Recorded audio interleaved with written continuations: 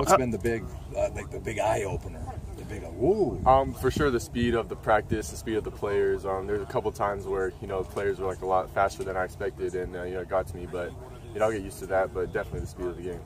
Well, how big advantage is it being here now as opposed to coming in August? I think it's a huge advantage because I mean I already got the first practice jitters out of the way. Um, I'm learning the offense, learning uh, how to read the defenses, the reads for the plays, and everything. And you know it's just giving me you know whatever four or five months advantage that most people don't have. And being here in your hometown, where you still have, I guess, the comfort. You got your parents nearby and all that. How big advantage is that? Yeah, I mean it's a huge advantage. I mean my dad came out to practice today and was able to watch me. You know that's a really cool part. Um, I mean, I can go home on the weekends and eat lunch or eat dinner with my family whenever. So it's it's really cool to just be here with my family and have their support.